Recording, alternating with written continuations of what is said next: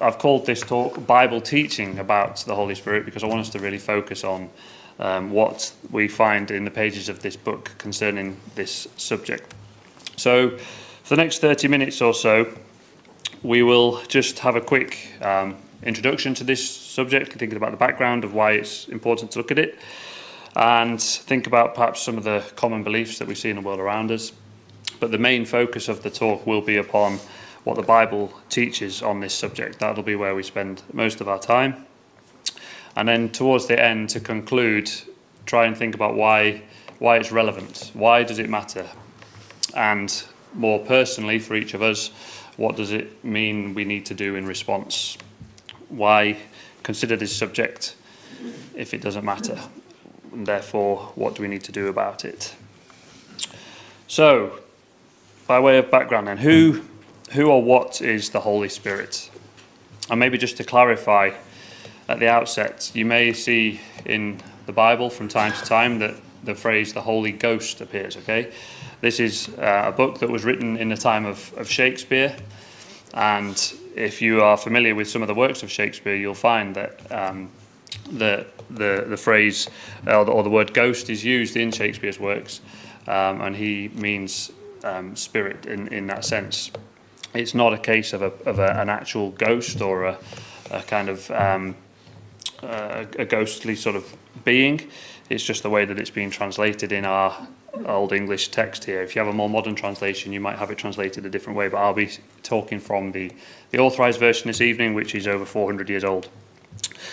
And lots of the later translations, as um, some of the more recent ones, like Brother Paul was using, actually say Holy Spirit, which helps to kind of clarify the fact that there isn't this um, being or, or, or ghost. So, what part does the Holy Spirit play in the work of God? How do we understand it? What is it? Well, interestingly, if you to go to most Christian groups in the world around us, and indeed in, in this town, and Sam and I were speaking to some of them last Saturday in town, and it's very difficult for them to understand the, the, the Holy Spirit in the way that we believe the Bible teaches. Most Christian groups will follow something along the lines of the text you see there on the screen when they describe and understand what the Holy Spirit is. It's wrapped up in a, a kind of triune Godhead of the, the, the Father and the Son, the Lord Jesus, and the Holy Spirit are, to them, often you find it's part of this one being which is quite difficult to, to kind of get your head around. So what I want to try and do this evening is rather than look at what a, a, a dictionary or an encyclopedia tells us about the Holy Spirit, I'd like us to, to look at the words of Scripture and just start in Acts where we left with Brother Paul, but just come to Acts chapter 10, please.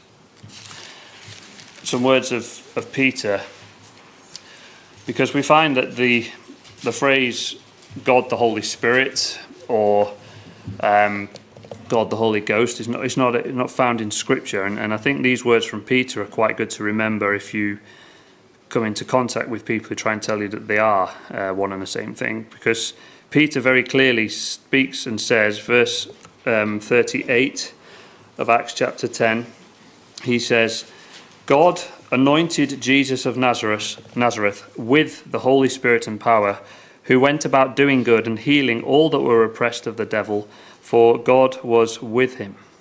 Okay? So it's, to me at least, pretty simple and clear that God and the Lord Jesus Christ and the Holy Spirit cannot be one and the same thing because that, that sentence, that, that, that proclamation that Peter makes there would not, to me, make any sense. How God could anoint himself with himself, if you were to understand the, the, the Holy Spirit in um, common with lots of Christian groups in the world around us. And as if, and, and often when you speak to people, they'll explain it away as a mystery, won't they? If, if you can't get to the bottom of something, they'll say, well, it's just a mystery. We can't understand it fully. This is our best understanding of it that we can find. Well, if you carry on reading in verse 39, you see that he actually says he was a witness. Peter saw this with his own eyes. It's not a mystery at all. He saw it and he witnessed the things that Jesus did as he was in the land of Israel. both in the Jews and in Jerusalem. And unfortunately, as he says, they slew him and hung him on a tree. But God raised him up the third day and showed him openly. There's no mystery, there's no, nothing hidden. It's in plain sight. Peter witnessed it. He saw Jesus going about doing miracles as he was the Son of God, blessed to have the Spirit power of God on him to do those things. And he saw him raised from the dead again and witnessed his ascension into heaven not to all the people, but unto witnesses before of God, even to us who did eat and drink with him after he rose from the dead. So here I think it's very plain to me that the Lord Jesus Christ, the Lord God Almighty, and the Holy Spirit are three very distinct things. So, what then is the Holy Spirit? How do we understand it better if we are to look at what Scripture tells us? Well, if you want to turn forward, you can, but I've put the verse on the screen. In Acts chapter 20, we see these words where it's written for us Brethren, I commend you to God and to the word of his grace, which is able to build you up and to give you an inheritance among all them which are sanctified. So, we as Christadelphians believe that this book, the Bible, is, is our divine instructor in life.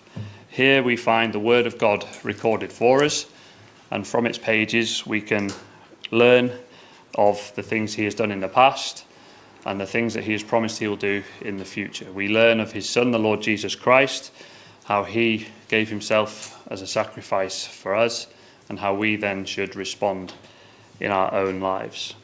And these, the simple guidelines we find in, in this book, are sufficient for all the needs of our life.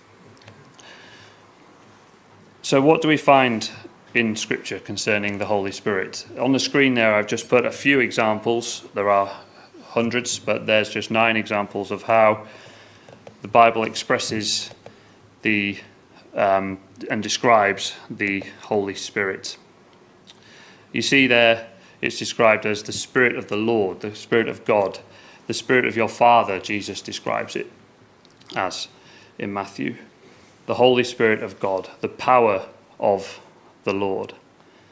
This is, this is where we will probably spend then the next portion of our talk, thinking about this aspect of the Holy Spirit being the power of the Lord God Almighty. And where do we find it perhaps most prevalent? Well, if you turn back to Genesis with me, to Genesis chapter 1, the first chapter in your Bible, we find that the Lord God uses this power to create the heavens and the earth, and indeed to create mankind upon it. In Genesis chapter 2 and verse 7, having created the earth, and he created mankind, and verse uh, in, in on day 6, well, chapter 2 gives us some more details around that day, and we read that the Lord God formed man of the dust of the ground and breathed into his nostrils the breath of life, and man became a living soul.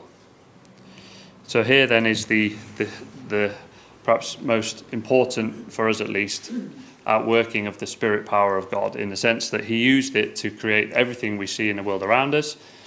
And towards the end of his creation, he deemed it necessary and he was willing to create mankind, of which we are then the descendants many thousands of years later. And look at how Job describes that. He says that it was the Spirit of God that made me, and the breath of the Lord of the Almighty hath given me life. So we see it's, it's synonymous here then with this idea of the breath of life that we read in verse 7 of Genesis chapter 2. Job helps us to understand that it was through the spirit power of God that this was performed and that he gave the first man and woman, Adam and Eve, breath, and we then descend from them. Jeremiah tells us that it was he that made the earth by his power, this Holy Spirit power. He established the world by his wisdom and stretched out the heavens by his discretion. And there's a few a couple of references there in Jeremiah if you want to have a look at them in chapter 10 and chapter 51 of Jeremiah. So there's just a few examples of the Holy Spirit power of God at work in the creation of the world. Turn now back to Acts, please. We'll spend a bit more time in Acts. Come to Acts chapter 17, please.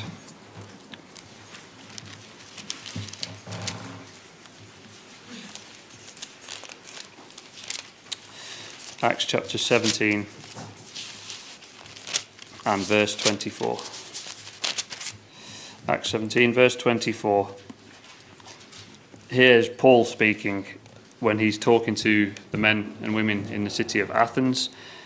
And he speaks and he condemns them, doesn't he, for not understanding that they were so sort of superstitious and so um, caught up in making sure they didn't miss out worshipping any god they could think of They'd even made an altar to a God that they didn't know just to make sure that he wasn't left out. And he condemns them, doesn't he? He says, You're ignorant. I'll tell you about the real God. Verse 24 It's he that made the heaven, the world, and all things therein. Seeing that he is Lord of heaven and earth, he doesn't dwell in temples made with hands, neither is he worshipped with men's hands as though he needed anything. Seeing he giveth to all life and breath and all things. There we see the same language used that we saw in um, back, right back in Genesis that was picked up by um, Job. Now, Paul here, when he's talking to the people in Athens, helps us to understand that it was by God's power that the world and mankind was created.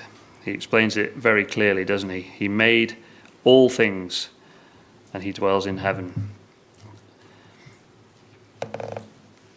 Job, again, let's, let's just think about some of his words. He says, If God set his heart upon man, if he gather unto himself his spirit and his breath, all flesh would perish together, and man shall turn again into dust. So Job's there saying, just as God gave out his breath and Holy Spirit power created mankind, if God was to choose to take it back, then man would instantly perish and go back to the dust that originated he originated from. We're sustained day by day through God's, uh, God's power. And again, there's some, some thoughts there from Amos on the screen. The fact that the Lord God is all powerful and has used his power in the created world that we see around us. He, he fills his creation and he expects mankind to respond to him, having given them life in the first place. Let's just think of another aspect then of the Holy Spirit, and this is where it gets more perhaps relevant and meaningful for us when we consider this book that we have before us. The fact that it was through this Holy Spirit power that this book itself came to be written. You might question, well, how can this book of six, that's 66 books all put together be consistent? How can somebody who wrote in the time of Moses understand and, and write things that are consistent with what Paul just read, we read there in Athens, or what the Apostle John would later write when he received the revelation. How can it, how can it hang together and how can it be true? Well, the scriptures themselves explain it. Come to 2nd of Peter, please. 2nd of Peter, chapter 1.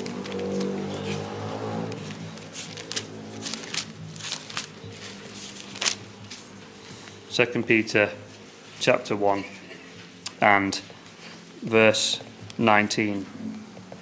He says, We also have a more sure word of prophecy, whereunto ye do well that ye take heed, as unto a light that shineth in a dark place until the day dawn and the day star arise in your hearts, knowing this first, that no prophecy of the Scripture is of any private interpretation for the prophecy came not in old time by the will of man, but holy men of God spake as they were moved by the Holy Spirit.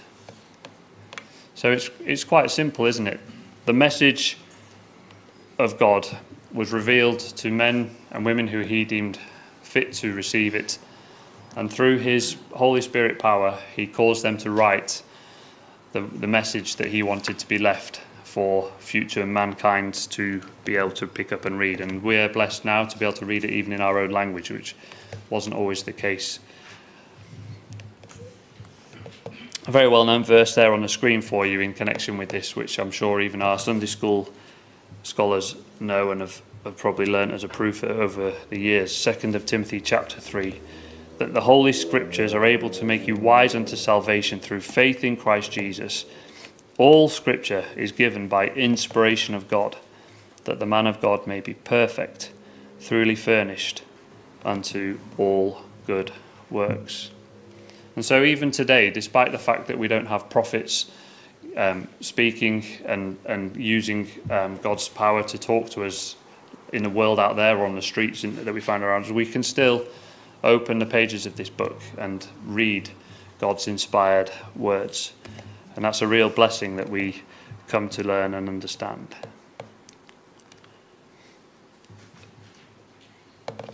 But unfortunately, of course, there are those who choose not to. And this has always been the case and will always be the case. In times past, the nation of Israel were rebuked time after time because they had prophets sent to them directly, which we find in our Old Testament. And unfortunately, frequently they chose not to heed and listen to the words that God sent to them, and they were rebuked. There's an example there from Nehemiah. And in Isaiah, we read that God was even vexed when he um, sent his angels, he sent his prophets to his beloved children of Israel, and they didn't give ear and respond, and they rebelled. He, Paul um, picks up on this, Peter rather picks up on this in Acts chapter 7. Let's just turn back there actually because we've been to Acts, so we, we know where it is in our Bibles. Come to Acts chapter 7 and verse 51. Acts chapter 7, verse 51. Sorry, I said it was Peter. It's Stephen speaking here, isn't it? And we know the response of the people when they heard this. Unfortunately, they were so pricked in their conscience that they ended up stoning this man to death. Because he says in verse 51 You're stiff necked and you're uncircumcised in heart and ears. Ye do always resist the Holy Spirit. As your fathers did, so do ye. So he really goes at them here, doesn't he? That they've unfortunately despite having the Lord Jesus Christ come in their own day and time, they had not listened, they were stiff necked, just as he says your forefathers were, the people that Isaiah and Nehemiah were, were listening to in the other verses on the screen. And they, and they resisted this Holy Spirit power of God. And we do at our peril as well in, in our own day.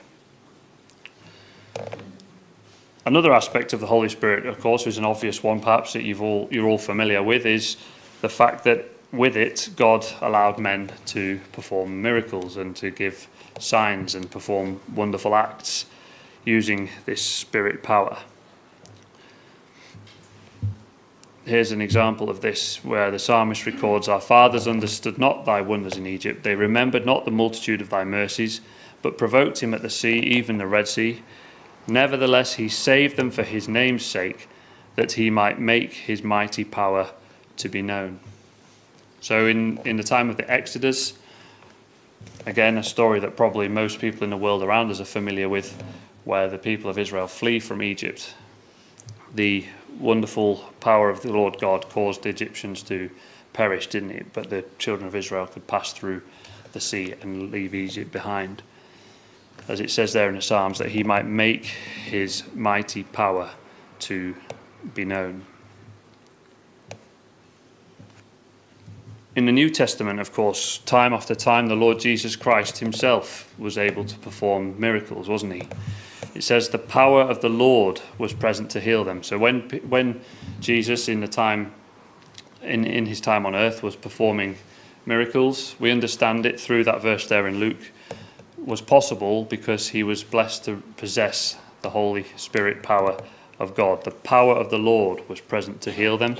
Men came and brought someone on the bed that was sick, and immediately after Jesus spoke to him, he rose up and walked. And there's many, many other examples of the Lord Jesus Christ performing miracles that we could turn to, but we'll move on for time.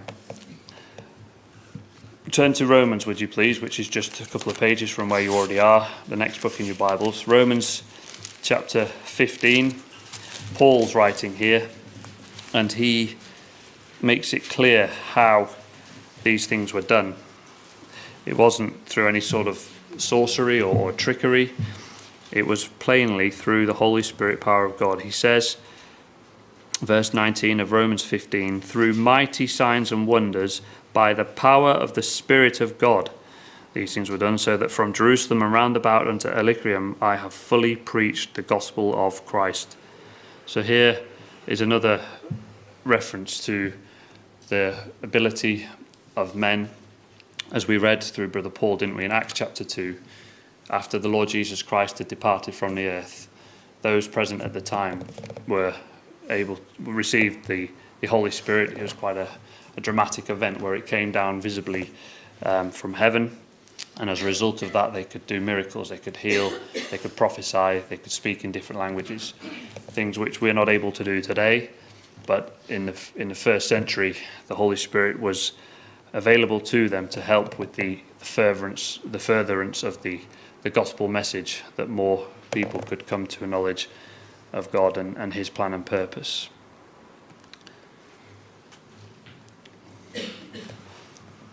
So here's then just a few examples of that Holy Spirit power at work.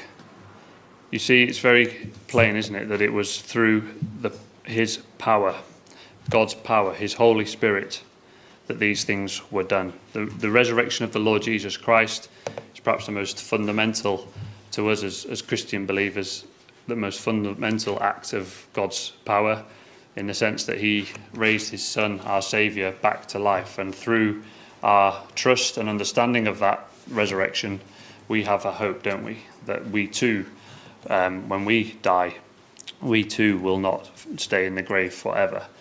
That just as the Lord God raised up our Saviour, Christ Jesus, so too we have a hope of the same thing happening to us. And we understand that it was through his power that he did this, as Paul records for us there in Corinthians.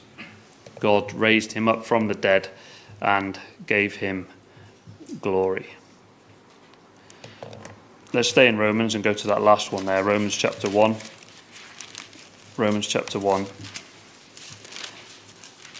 and verse 3. Romans chapter 1. Concerning his Son, Jesus Christ our Lord, which was made of the seed of David according to the flesh, and declared to be the Son of God with power according to the Spirit of holiness by the resurrection from the dead, by whom we have received grace and apostleship for obedience to the faith among all nations for his name. So we know that the Lord Jesus Christ, it was pronounced by God several times that this was his beloved Son. He was the Son of God, it was declared. But it's according with his power, according to the Spirit of holiness, by the resurrection from the dead, that we come to know and trust and hope in these things. That's how fundamental the resurrection of the dead is to our hope. And of course, we could look at uh, somewhere like um, 1 Corinthians 15 in more detail if we wanted to, um, to explain that further. Let's just turn forward to Ephesians, please, if you would. Just one more reference on this subject. Re- Ephesians chapter 1 and verse 19.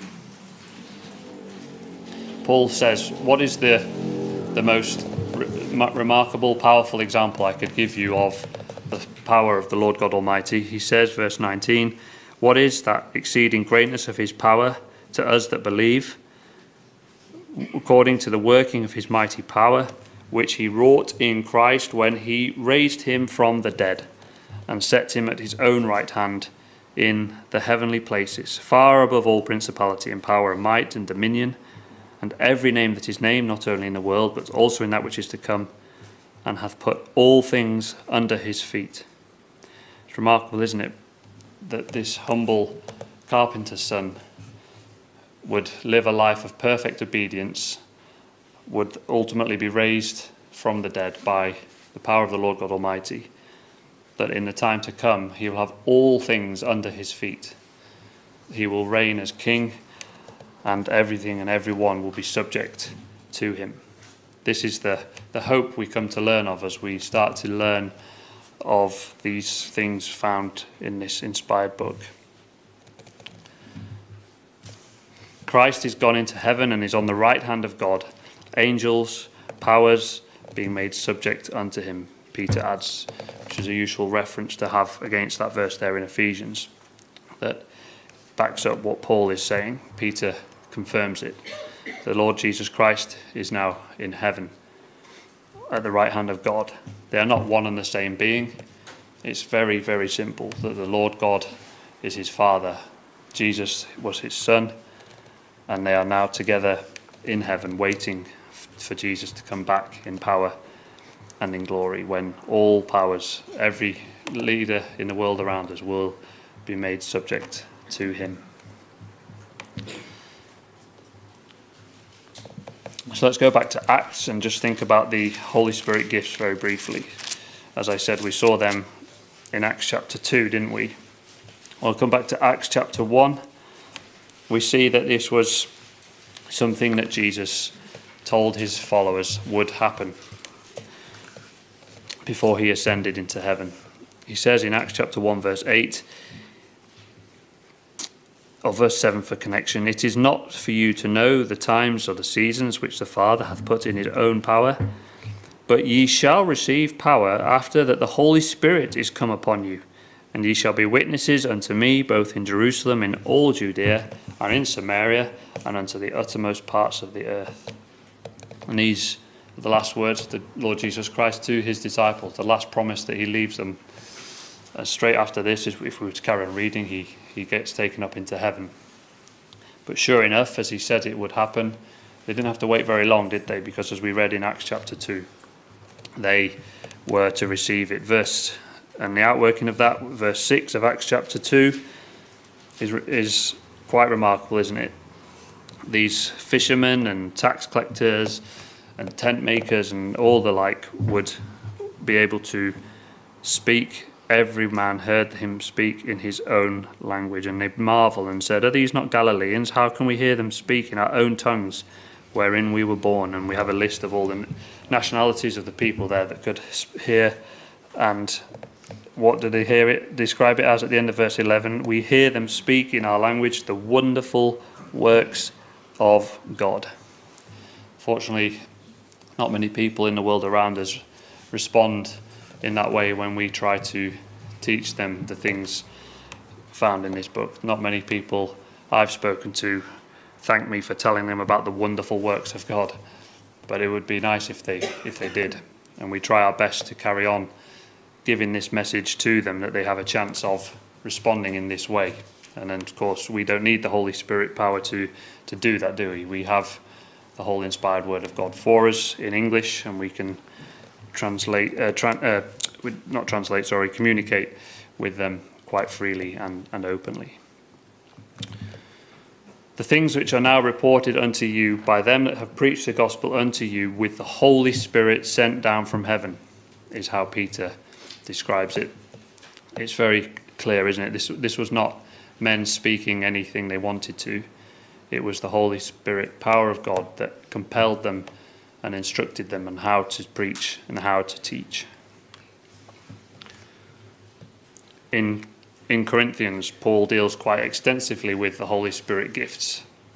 And unfortunately, the Corinthian ecclesia had a few problems with the fact that there were members of their ecclesia that could do certain things, and he has to um, rebuke them and kind of re examine the facts and help them with their use of these Holy Spirit gifts. But he's, he says there, doesn't he, um, in verse uh, in, in 1 Corinthians chapter 12, he, he, lists some of the examples of what the Holy Spirit power was able to do. Some could heal, and some could do miracles, some could do prophecy, some could speak different languages, some could understand other languages. And here was the remarkable power of God at work in the first century ecclesia. So we've kind of I appreciate rushed perhaps through several aspects of the uh, Holy Spirit and hopefully shown that it is clearly the, the power of God.